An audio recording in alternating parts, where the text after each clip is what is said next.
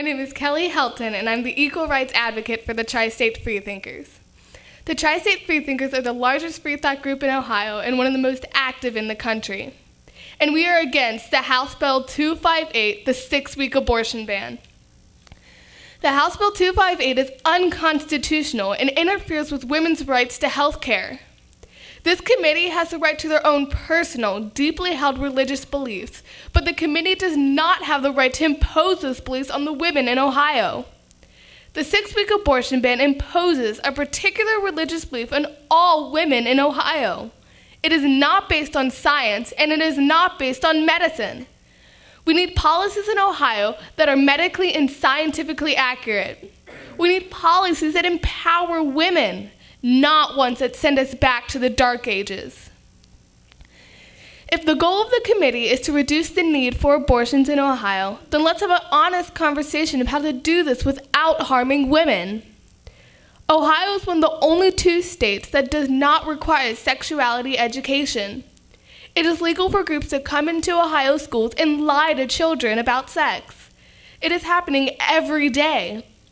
If you really wanted to reduce the need for abortions and help women, you would pass a law that requires sex education to be medically and scientifically accurate, and that includes consent.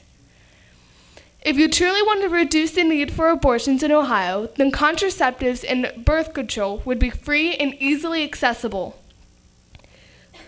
States like Colorado have already taken these steps and their teen pregnancy rates, STD rates, and abortion rates have gone down by 30 to 40 percent.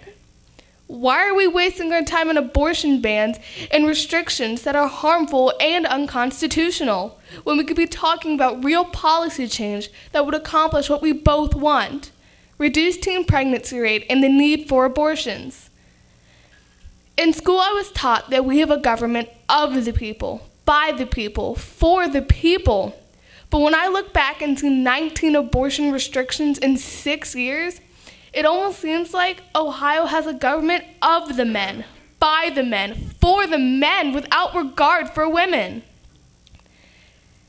As a 13 year old girl, I often find myself to be the voice of reason in a room of unreasonable adults.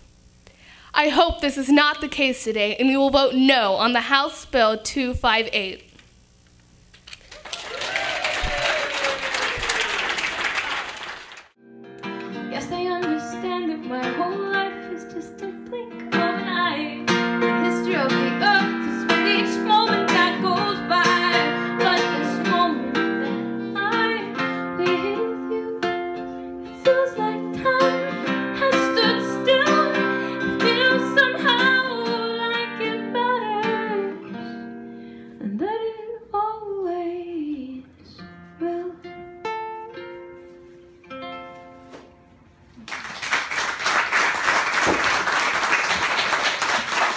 Thank you so much.